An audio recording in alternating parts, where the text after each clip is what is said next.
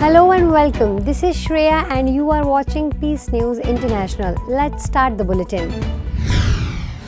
The Brahma Kumaris in St. Petersburg commemorated India's Independence Day and Raksha Bandhan with impactful events highlighting purity and unity. On August 15, BK Santosh Didi, the director of Brahma Kumaris in St. Petersburg, along with BK students, participated in the official flag hoisting ceremony at the Consul General of India. Following President of India Srimati Draupadi Murmu's address, attendees engaged in meaningful exchanges with consulate staff, the local Indian community, and retired police officers from India. Later that day, BK Santosh Didi offered blessings at a grand reception hosted by consulate at K2, the Russian government event hall.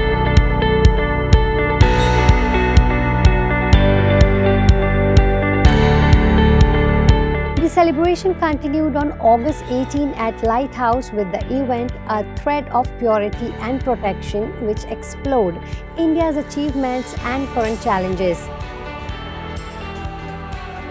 In a profound talk on the three dimensions of true freedom, Santosh Didi emphasized that true freedom is unattainable with mental pain, ill feelings, and poverty. These are born from the major vices of lust, anger, greed, and ego. God, our Supreme Father, offers to transform these into virtues. The Consul General Mr. Kumar Gaurav emphasized that Raksha Bandhan's spirit of love and care could help resolve global conflicts.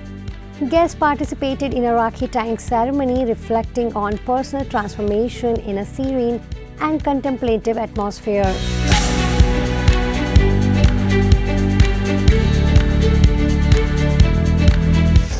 Despite the ongoing conflict and daily challenges of war, including shelling, restricted electricity, and air raid sirens, the Brahma Kumari celebrated the 78th anniversary of India's independence at the Indian ambassador's residence in Kiev, Ukraine.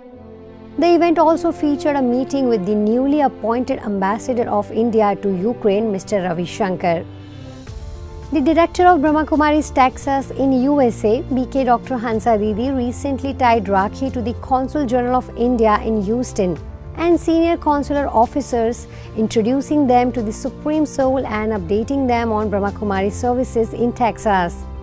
The Consul General was intrigued to learn of Dr. Hansa Didi's unique background as a retired US Army colonel and oncologist Joining the event were Sister Megan and Brother Mark. Impressed by the presentation, the Consul General expressed his intention to visit the center and experience meditation. On August 17, 2024, the 79th Independence Day of the Republic of Indonesia was celebrated with a grand flag hoisting ceremony at the Brahmakumaris Peace House in Denpasar, Bali. Around 80 people were present on this occasion to honor the independence of the nation. The ceremony began with the hoisting of country's flag. After this, tribute was paid to the heroes who fought for the freedom of the nation by observing a minute silence. The proclamation text was also read out loud, reawakening the spirit of independence among those present. After the formal ceremony, the event turned into a celebration with a series of entertaining competitions that promoted joy among all the present. The occasion was especially graced by BK members of Godlywood Studio, Brahmakumari's international headquarters in India, including BK Sister Shikha, the in charge of audio department, Om Shanti Channel, Music Godlywood, and Punjabi department of Godlywood Studio. This entire program took place in Bali in the divine presence of Brahmakumari's director BK Janki Didi.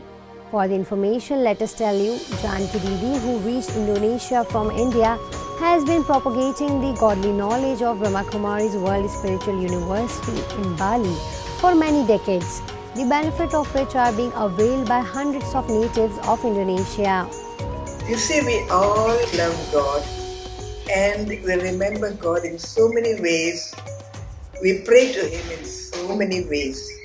But one of the most ancient and the most beautiful way is to remember God in the formless form. During a fruitful one week visit to Myanmar, BK Shilu Didi from headquarter Mount Abu, India, and BK Indra Behan conducted a series of impactful programs that strengthened cultural ties and celebrated the spirit of Raksha Bandhan.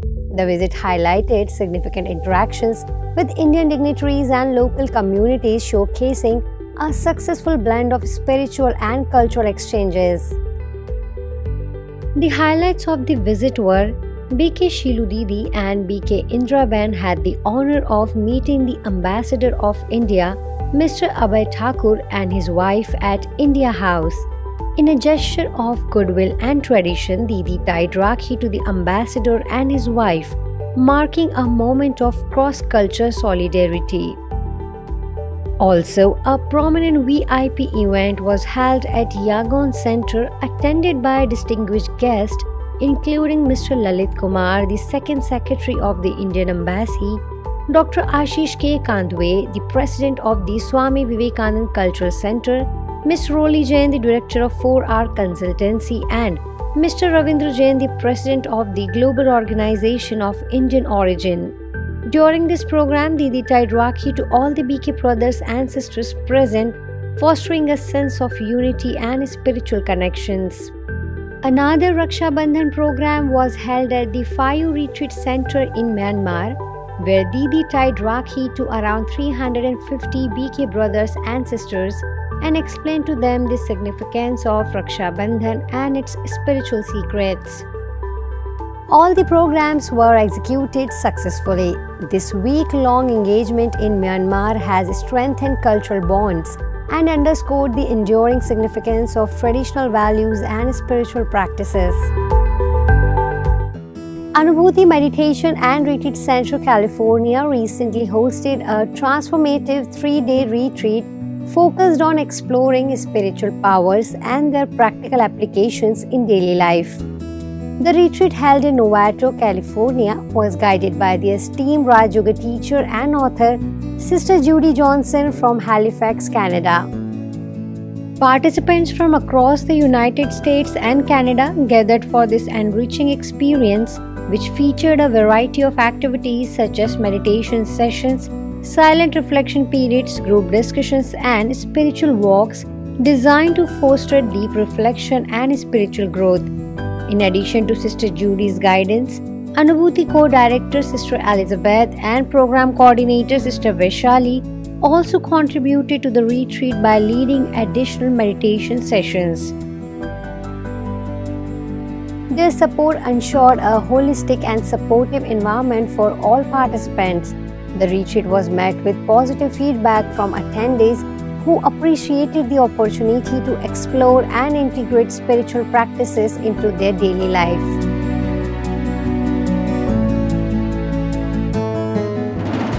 That's all for now. Thanks for watching our broadcast today. We hope that you found our coverage informative and valuable. Join us again next time for more news and update on events around the world. Until then, take care and goodbye.